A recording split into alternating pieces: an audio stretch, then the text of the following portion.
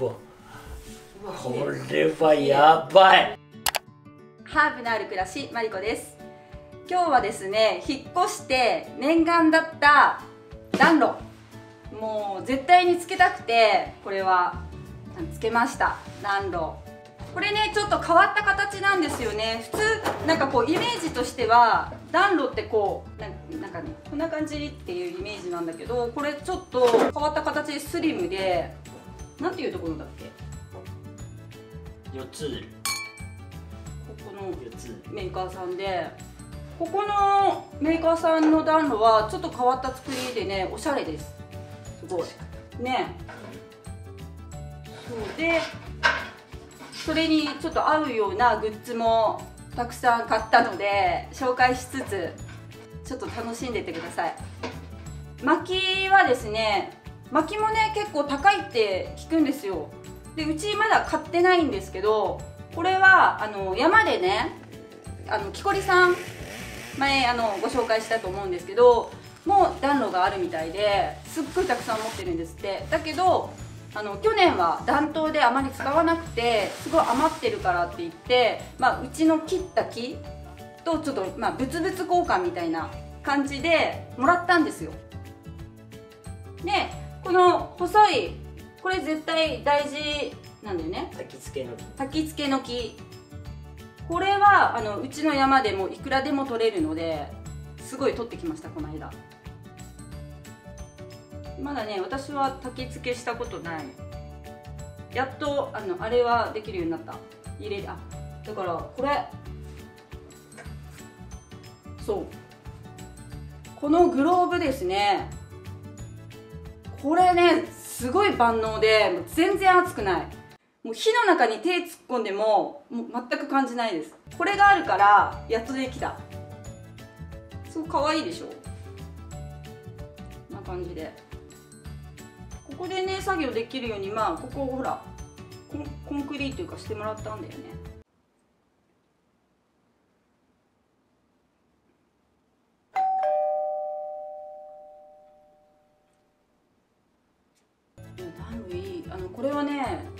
の上ってなんか夜間なイメージなんだけどこれはちょっとこうデザインデザイン重視でねそういうのも置けないんだけどすごいあったかい。結構うちはそのコンクリートの作りであのまあ断熱はしてもらってるんだけど冷えるんだよねコンクリートってね。だけどあの3階まで全然あったかくて温度が最低で17度ぐらい。1, 回この暖炉で温めて、まあ、消えたとしても断熱の効果で17度ぐらいまでしか下がらないよね。そうそうそう。だから常にあったかい状態ですね。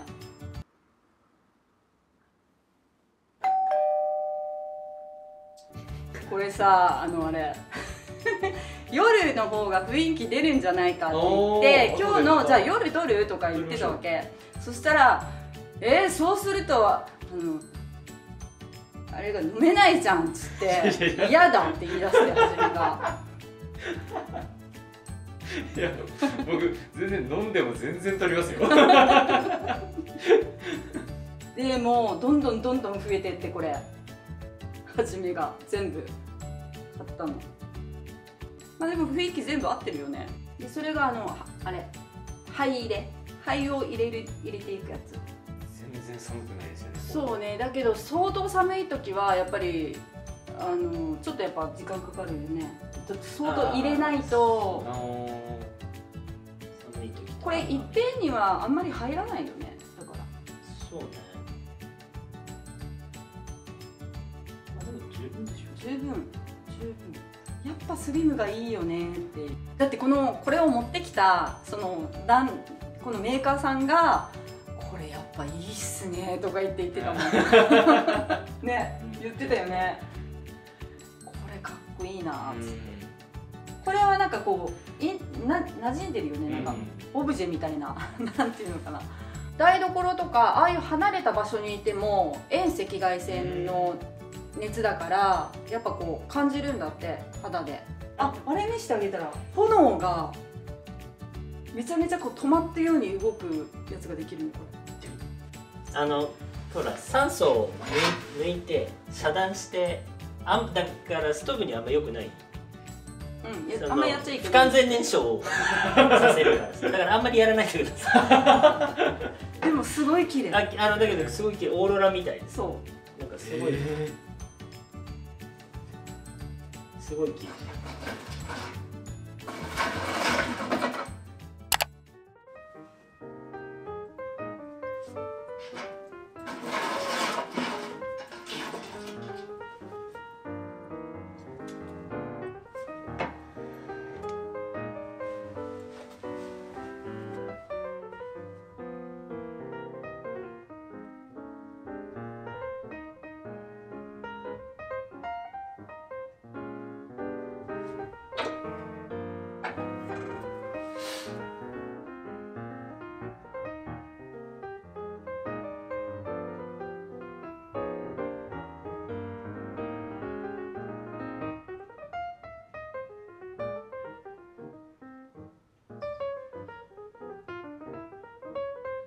これだから閉めてないとこうなる。いやその空気がどんどんこれ閉めてないのねまだ。あだ空気をどんどん入れて燃やさないと。そのでこれで閉まっていいかな。でこうやって空気を絞るとこういうちょっとほらオーロラっぽいもうちょいかな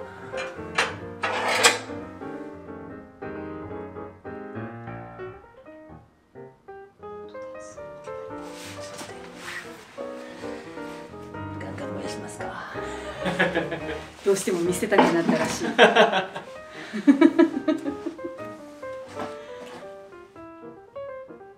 こっちはほらあの杉だからすぐ燃え尽きちゃう。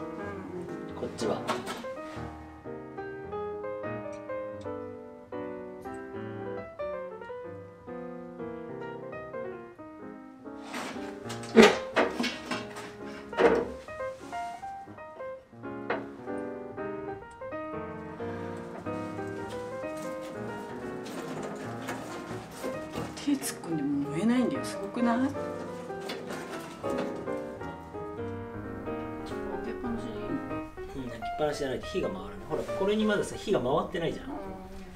要はこの木にバッて火が回ったら閉めてもう大丈夫。あとまだ温度がちょっと低いからちょっと絞るのがあ入れてバーって燃える時でしょ。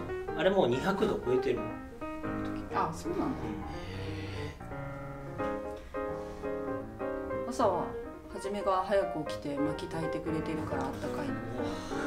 いいですね。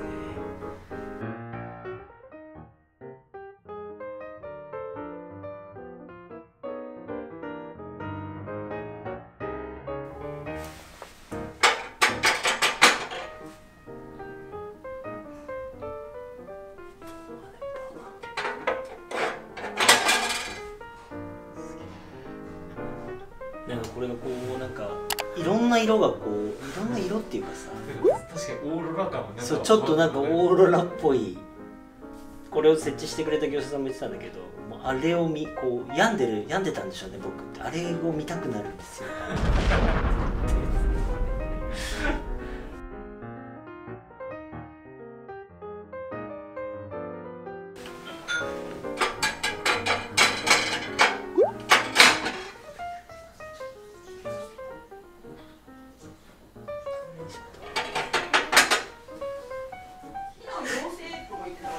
何言ってたっけ？だけどずっとやってるとすぐ詰まりますから。まああんまやれないって感じ絞ってもやっぱ半分までなんだって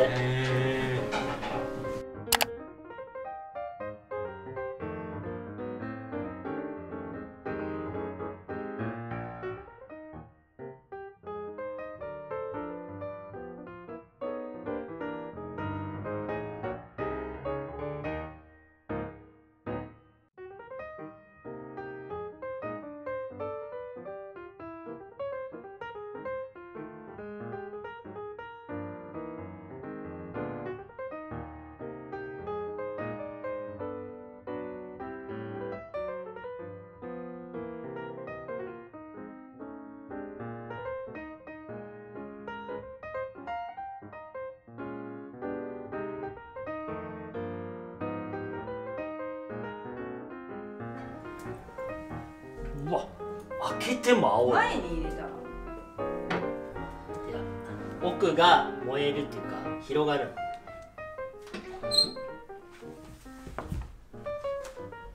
あ一緒だ。青い。うわ来た。いやこれ全部青。あそうなの？うん色がもうついてる。います。えい